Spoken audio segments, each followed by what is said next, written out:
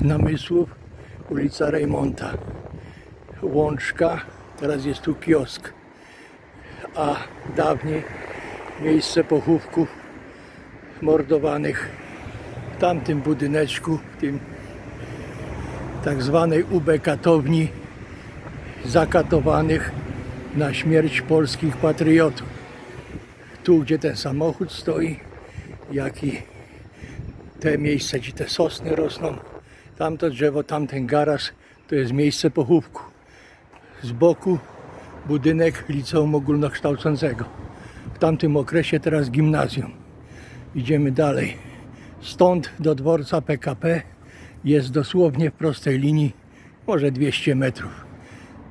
Tą dróżką tam z tyłu doprowadzano trójki ubeckie, doprowadzały tutaj wyłapanych z pociągu różnego rodzaju, których mieli na liście polskich patriotów. I w tym budynku, w tej katowni, tutaj królował tak zwany krwawy Leon.